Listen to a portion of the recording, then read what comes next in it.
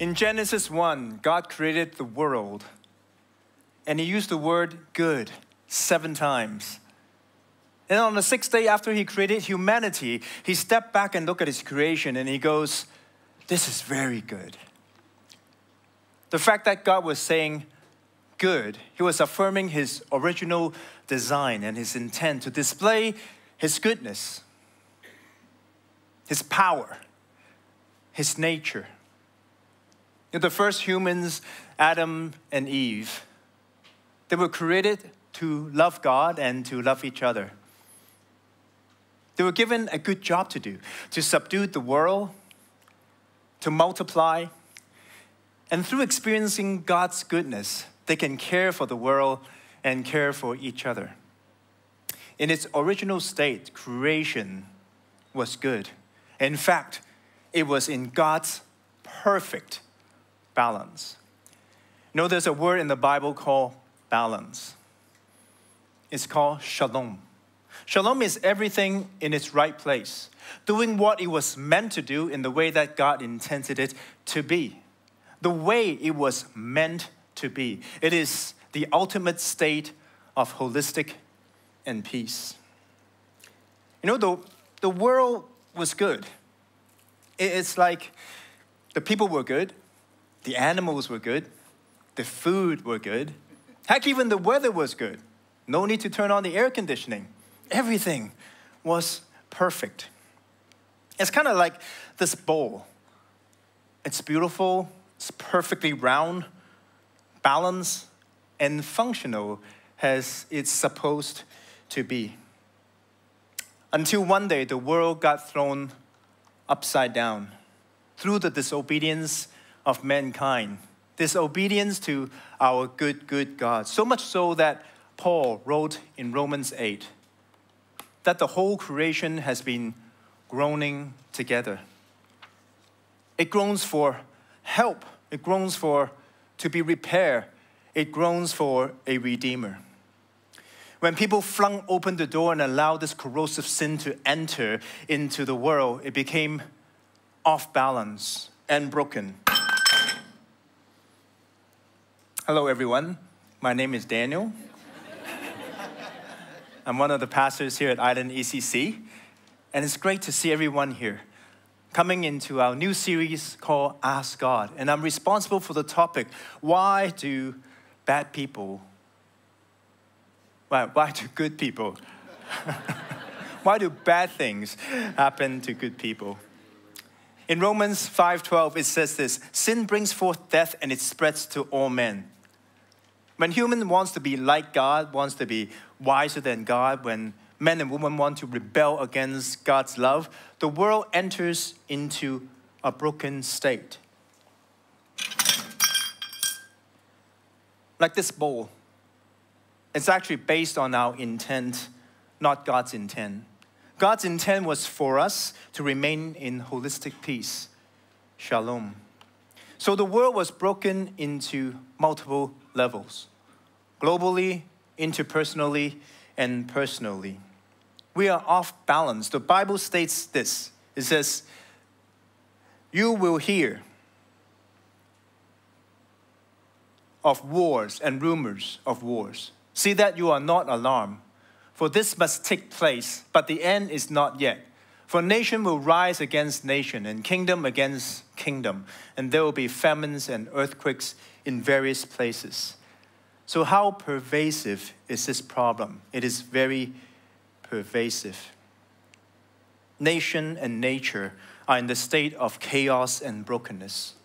Now, on a interpersonal level, as the people separate themselves from the way of God, following what they think seem what is right in their own eyes, listen to this. They're following what seems right in their own eyes. It's not like I want to do something bad in my own eyes. They're following what seems right in their own eyes. But the problem is, it's based on self centeredness.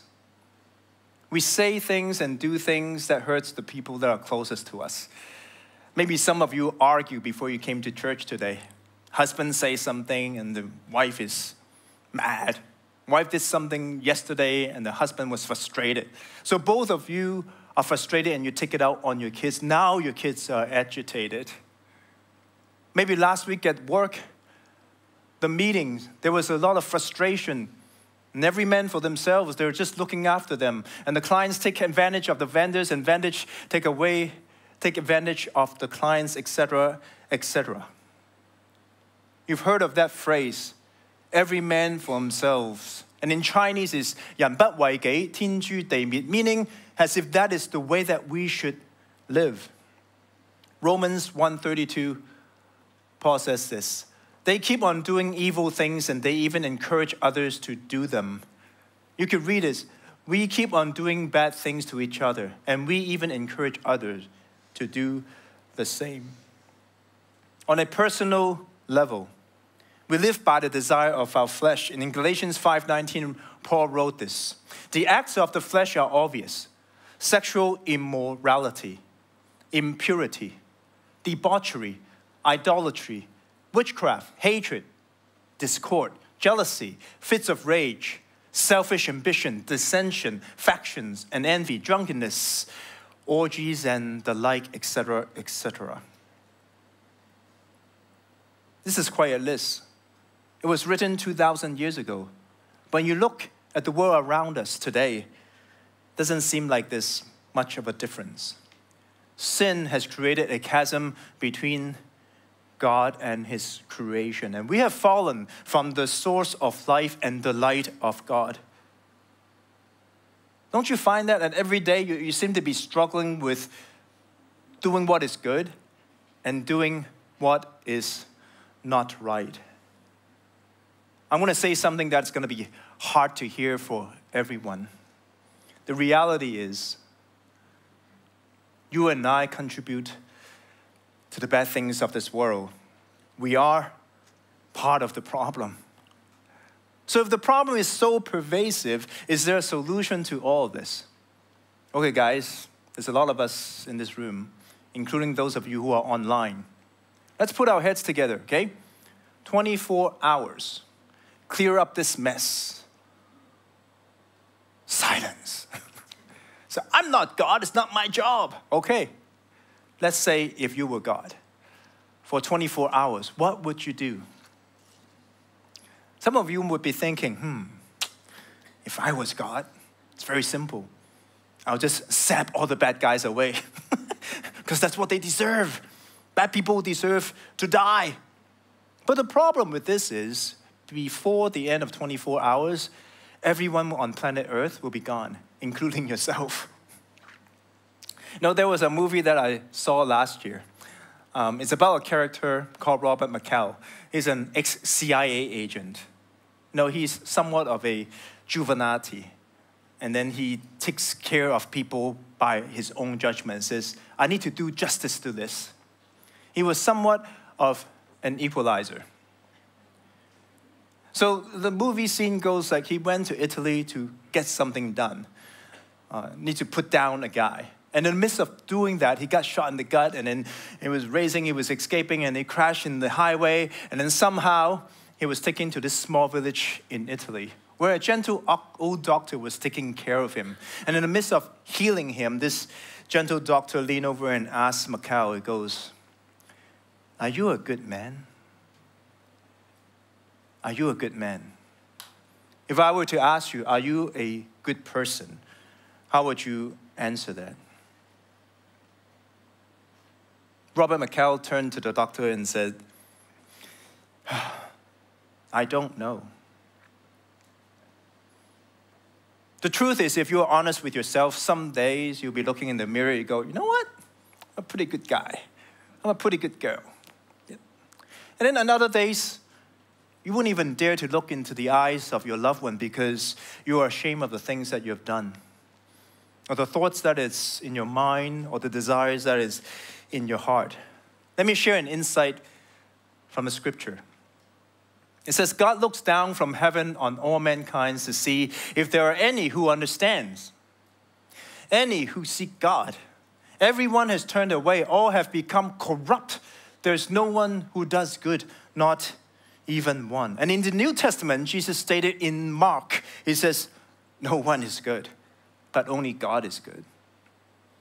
So your next question will be Come on, God, why don't you just make everyone good? Easy.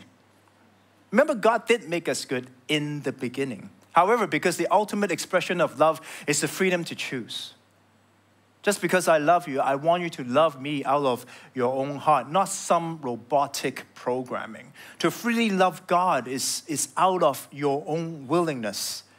God gave us that choice because He loved us.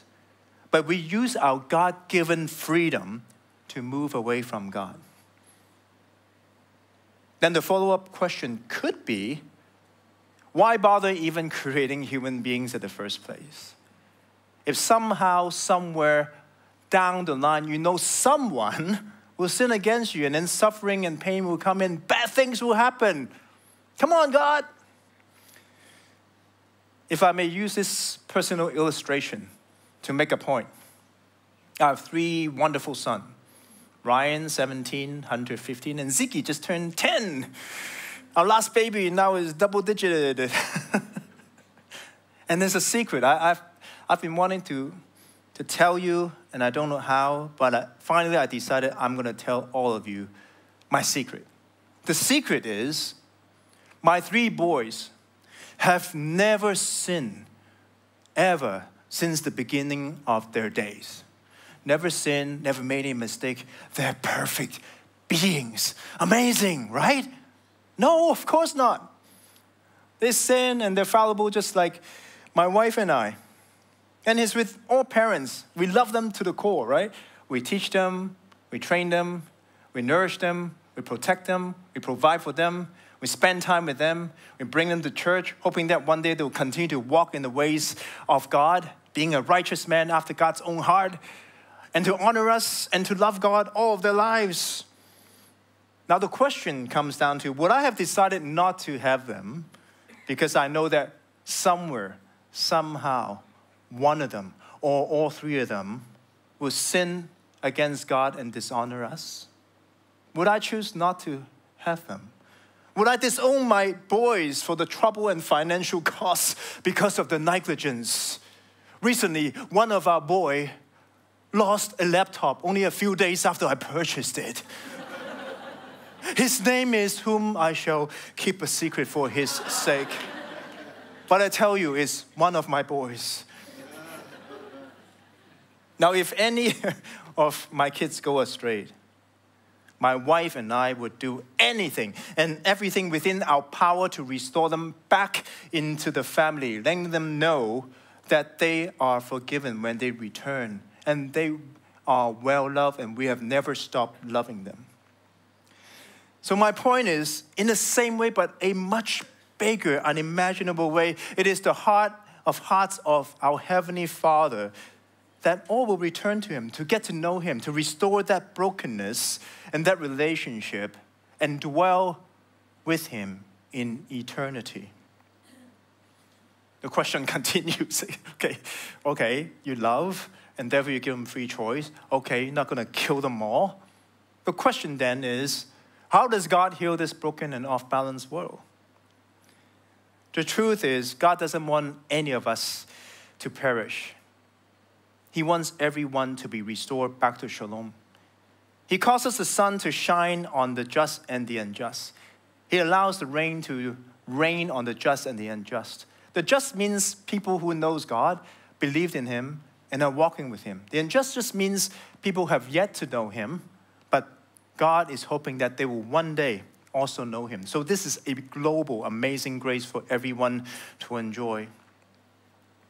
He patiently waits for all of us to come back and return to Him, not wanting anyone to perish. He doesn't want that. The solution is the gospel. The good news is a redemption plan that has already been set in motion. The imbalance of this world will be worked through from Jesus Christ, who died on the cross for the price of our sins, which Romans says the wages of sin is death that we deserve.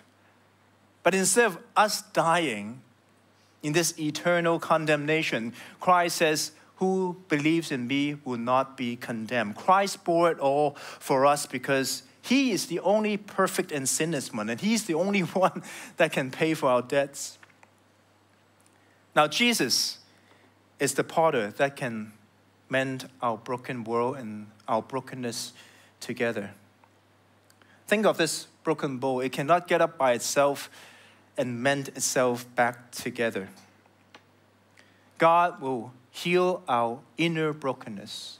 God will heal our interpersonal brokenness. And eventually, the whole world will restore back to shalom. But meanwhile, we're living in this state. It's the already but not yet state. Salvation has come. Redemption is in process, and shalom will be restored one day. So we're in between that process right now. The kingdom has already come, but is not yet completed. So pain and suffering and bad things continues to happen. The promises of God, however, is ever so encouraging. Jesus said this. He says, "In the world you will have tribulation, troubles, but take heart, I have overcome the world." Let me summarize a story that some of you might be familiar with in the book of John chapter 11. It illustrates the relationship between Jesus and the three siblings, Martha, Mary, and Lazarus. So the summary of the story is was, Jesus was told that Lazarus was sick, and then Jesus went to Bethany, and eventually, when he got there, Lazarus was already dead for four days. While Jesus was there, Jesus wept because he was moved and greatly disturbed by all the people's sorrow. Although afterwards, momentarily, Jesus raised Lazarus from the dead. So a happy ending, a nice bow on the top. Great. Yes. but the intriguing part of this story is not raising from the dead. The intriguing part was Jesus wept. I'm sure all of you have wept. Well, some of you have wept. And it's weeping. Weeping is not like some tiny little droplets of tear that rolls down from the side of your cheek when you see a very moving story. Weeping is a, ah, You've seen your kids weep. You probably have wept because of the suffering that you have experienced.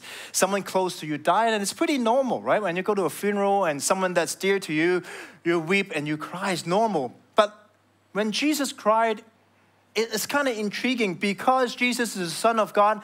Only moments later, he would raise Lazarus from the dead. He knows the outcome. So, why would you cry over something that you know will be resolved momentarily? Take a few seconds to think about that. Why bother crying when you know the outcome will be good? Why? It is because he cares. Jesus enters into our emotion. He enters into what we're experiencing. God's heart is broken when we are broken. When we cry, He knows our pain and suffering, and He's there alongside of us. Because we do not have a high priest, Jesus, who is unable to sympathize with our pain, our weaknesses, the bad things that happen, but one who, in every aspect, has been tempted as we are, yet without sin. Do you know that tears in the original language has to do with stress and anger? Jesus is at, mad at the pain and suffering of this world.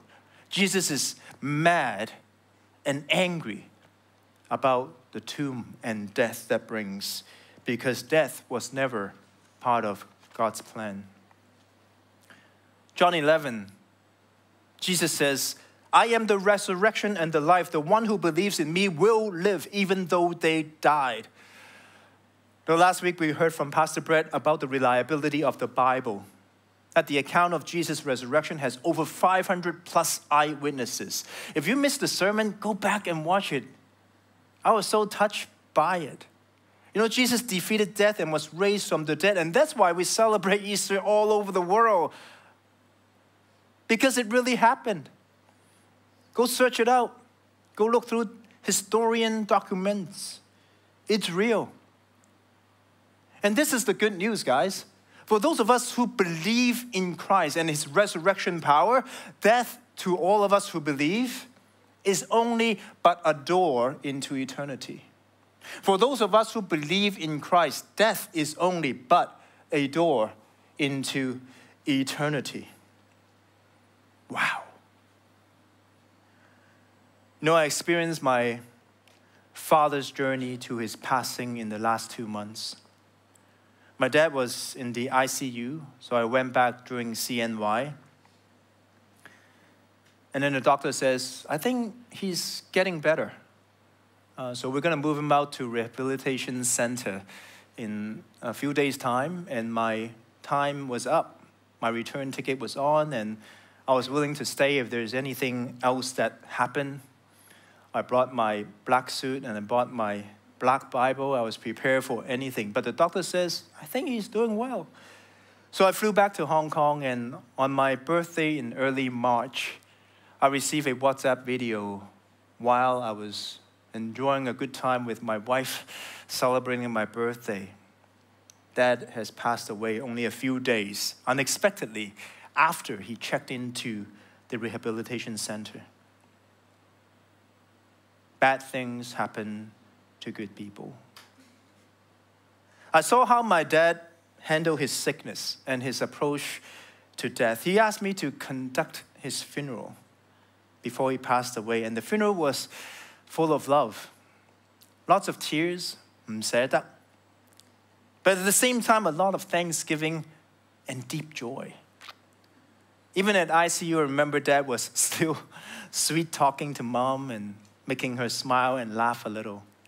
My dad left this world in peace. He knew, because he knew where he was going and where he will be.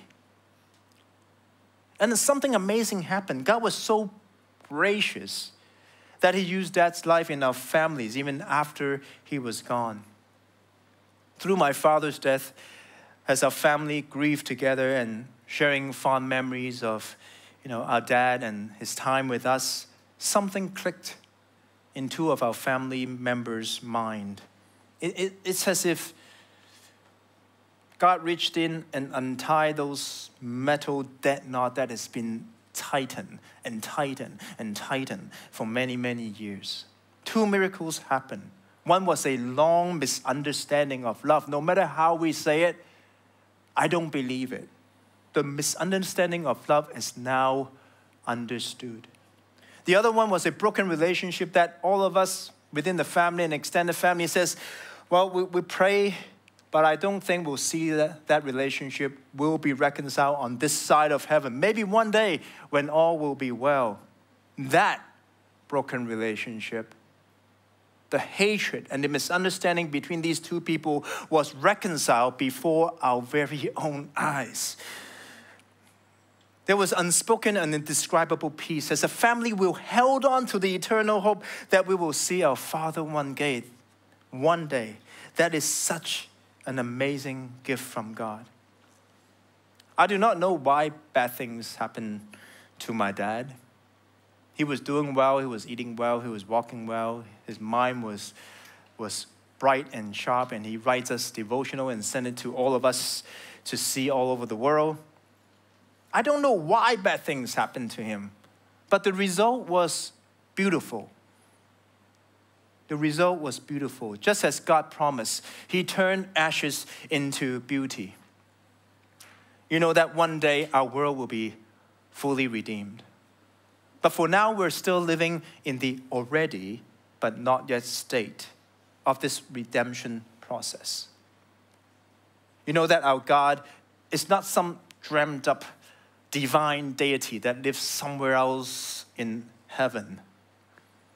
That we wanted to believe there's a greater good, there's, there's a God, and so I could hold on to this crutch so I could feel better about myself when I'm down and out and bad things happen to me. No, he's, he's a living God that walks with us, as we see in the story of John 11. By seeing John 11 and understanding through my own experience, it helps me to understand that I have this God with me through my pain and suffering. I understand who this God is in my life now.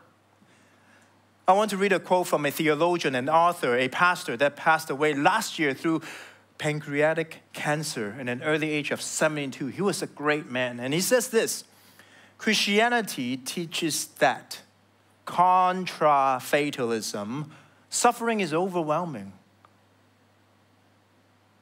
A lot of you are going through some suffering and bad stuff right now. Don't let anyone tell you that it's okay, let it pass, it's all right. No, it's overwhelming.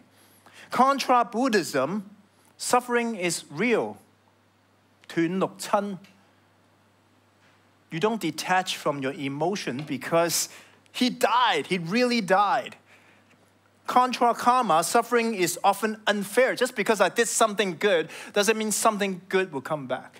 Just because I did something bad doesn't mean I will receive that punishment this lifetime. Just because I was a good man all through my life, will I become a dog in my next life? Will I become a woman? Who will I be? I don't know based on karma. Oh my gosh, how am I going to live this life? Contra secularism. Suffering is meaningful. There's a purpose to it. And if faced rightly, it can drive us like a nail deep into the love of God and into more stability and spiritual power than you could ever imagine. And before this person passed away, he says, You know what? Everything in this life is going to be taken away from us, except for one thing. What is that one thing? God's love, which can go into death with us and take us through it and into his arms. This was Pastor Tim Keller. He wrote his last book while he was having cancer to let us know that the Lord is real. So, what is my part to play? Starting on a personal level, let me encourage you. Let me encourage you. Let God work in you. If you're the one that is suffering right now, if you're the one that something bad has happened to you, do not waste your journey. Let God work in you and use your ashes to turn into beauty let your experience be someone, be something that you could help others with because you have walked through the burning coals. You have been baptized with fire. Let it turn into something good. Paul wrote in Corinthians, My grace is sufficient for you, for my power is perfect in weakness. Therefore, I will boast all the more gladly about my weaknesses so that Christ's power may rest in me. And that is why, for Christ's sake, this is what Paul says I delight in my weakness, in people insulting me. I delight in my hardship, in my persecution, in difficulties. For when I'm weak, I am strong. Paul is the one that says to live is for Christ and to die is to gain. How amazing and if you want to read about the, the story of Paul, he, he was one of those one that do not believe in Jesus. He's the one that actually goes against Jesus. He was the unjust. But another sermon, another time. And he goes on and says, Not only that, but we rejoice in our suffering. How can you say that? Rejoice in suffering. Amazing. Knowing that, suffering produces endurance, and endurance produces character, and character produces hope. What a great process that God has given us. It is hope that others can see our Lord Christ is real. When the rubber meets the road, right? It's not a Sunday thing, I feel happy. It's a self help kind of thing that I come in, I sing some song, I listen to some good messages, I feel better. So Monday comes along and I, you know, I roll along another five days, I get tired. I come back and I, you know, I feel good and I'm singing some songs. And it's not that, it's real. When the rubber meets the road, when bad things happen to you, when you display that deep joy that only Christ can give you through the hope of his resurrection power, then, only then, we will develop a heart to know what it really means to love. Love is not transactional. I scratch your back, you scratch mine. You do this good, and I'll do that good to you. You give me some gift, I give you a bigger gift, hoping that you'll give me an even bigger gift. It's not on that shallow end of lovey dovey. Although those things are good, gifts are good. I love gifts. I love for you to scratch my back. But the deeper love allows us to know what it means to walk with joy, how to live in peace, understanding how to be patient and kind to those around us. And as you open up your heart for God to work in you, He will transform you to understand His goodness. And then we can be gentle to others because God was gentle to you while you were against him, while you were doing bad things to other people. And then we will begin to see the good things about having self control. We stop from isolating. When we want to run away from people because so many have hurt me, I start using substances and behavior to numb my pain and God says, why it's good to have self control? Because it's actually stopping yourself from hurting yourself and eventually hurting those around you. On an interpersonal level, I encourage you be a peacemaker. You can stop being the source of suffering. You can stop being the source of suffering because you choose to make peace instead of paying evil with evil, but paying evil with love. Matthew says, Blessed are the peacemakers, for they shall be called sons and daughters of God. Repay evil with love, because this is what God has called you to do. And He will grant you His blessing. Practically, pray for your frenemies. Practically, pray for someone who is really against you. Don't be that judge because we always have our agendas. Let God be that perfect judge. He says, Vengeance is on me. Number three, be a servant to other. At today's beginning of today's message, I spoke about God giving us freedom to choose because it is an act of love. Galatians 5:13 says this, "For you were called to freedom, brothers and sisters. Only do not use your freedom as an opportunity for the flesh, but through love serve one another." Remember that list of fleshly actions and behaviors. Let me paraphrase from Philippians 2:3. Now, if you experience Christ's encouragement, if love means anything to you, if you have tasted God's goodness and have received his kindness, deep sympathy, and forgiveness, live together in harmony, serve others around you in love. Do not act from motives of rivalry or personal vanity, but in humility, think more of each other than do yourselves. So be an agent to reduce suffering. And lastly, please, please remember hold on to the promises of God.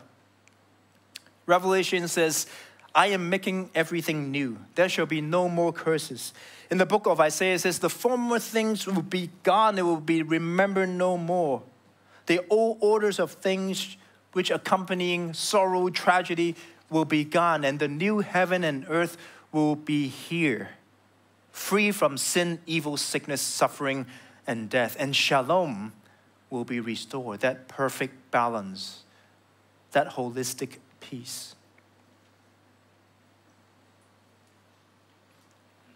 In closing, I want to go back to my illustration at the beginning of this message to summarize all of this. There's a Japanese art called the Kintsugi, the golden journey. A bowl was whole, and then it was broken, and now it's remended. It started back in the 15th to 16th century, and then when the pottery is broken, the highly skilled craftsmen would take some tree sap and some other materials and start mending the broken pieces and put it back together, adorning it with gold. And quite often at the end, the final product becomes much more precious, artistic, and valuable, and even better looking than it was in its original state. Our world and all of us are broken but God, in His grandeur of restoration process, is putting us back together by the grace of His Son, Jesus Christ.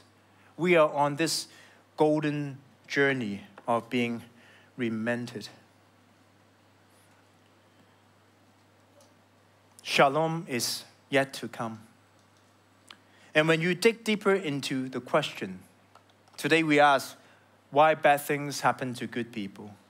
Perhaps a better question would be why did the worst death happen to the perfectly good God? Why did Jesus have to die for us?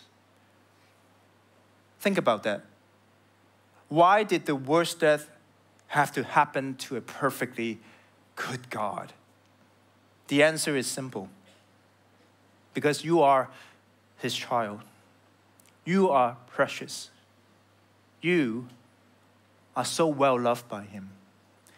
In a comparable but in a much bigger cosmic scale, it's like the parents for his kids.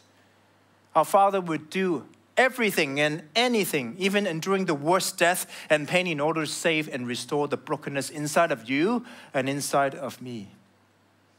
God wants you to live the life that He intended for you to live, which is abundant and free.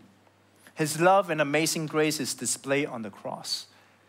So, friends, if you're here at church for the very first time, or you're in the process of seeking who is this God, what's the big deal?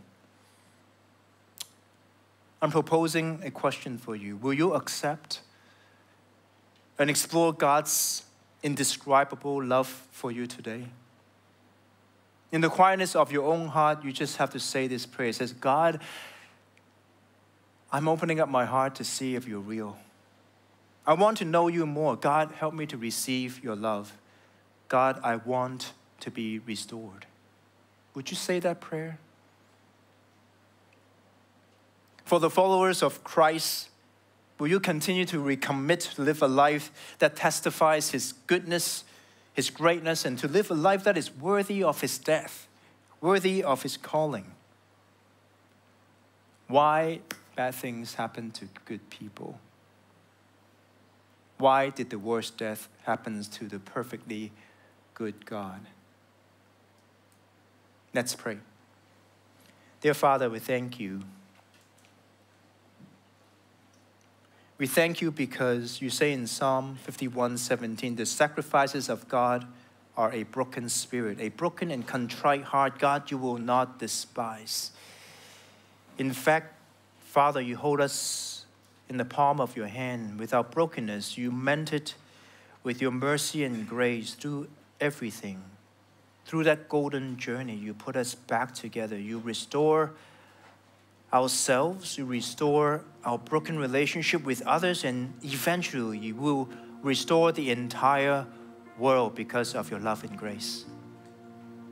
So, Father, I pray for all of us to open our hearts so that you can work and transform within us, so we can work and walk in your delight of your love and grace. In Jesus' name we pray together as one.